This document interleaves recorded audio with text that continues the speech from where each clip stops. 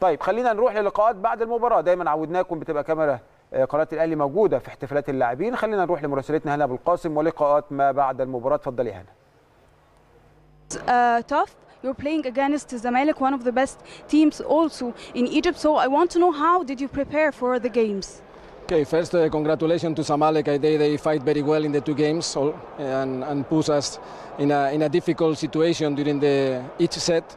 And, and it's not easy, not easy because also the national team was uh, have a period in Ghana, and uh, for both teams, the, the players of the national team arrived late, and it's not too much time for to prepare the games.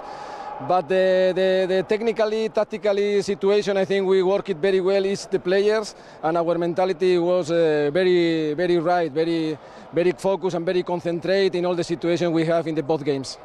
يعني طبعا أنا كنت بسأله إزاي قدر يحضر لمبارياته أمام الزمالك خصوصا طبعا إن مواجهة الزمالك بتكون صعبة. يعني هم من أفضل الأندية في مصر. الحقيقة إن هو قال لي إن هم استعدوا بشكل قوي للمباريات وأكيد هنئ فريق الزمالك على حصوله على المركز الثاني وإنه كمان استعد بشكل قوي للمباريات وظهر بشكل جيد. كمان هو قال إنه كان في تأثير كبير جدا لمعسكر منتخبنا الوطني ومشاركة في البطولة في غانا. لكن رجال النادي الأهلي كانوا بيلعبوا بعقلية جيدة جدا وقدروا في الآخر يحسموا البطوله لصالحهم.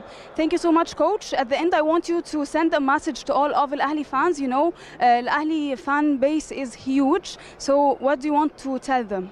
First, uh, I want to remind uh, the job of the, all the technical staff during the season because they are very important for, for to help me in, to, to prepare the, the games as you asked uh, before. And for the fans, okay, I hope they are very happy with this uh, league. Uh, it's the moment for, for to celebrate, it's the moment for to enjoy, it's the moment for to rest, and after two or three days to focus in the African Championship in our hall, and we hope to give them another championship also in our hall and celebrate it together. Thank you so much, congratulations, and we're waiting for more, inshallah. Thank you, thank you very much. Bye.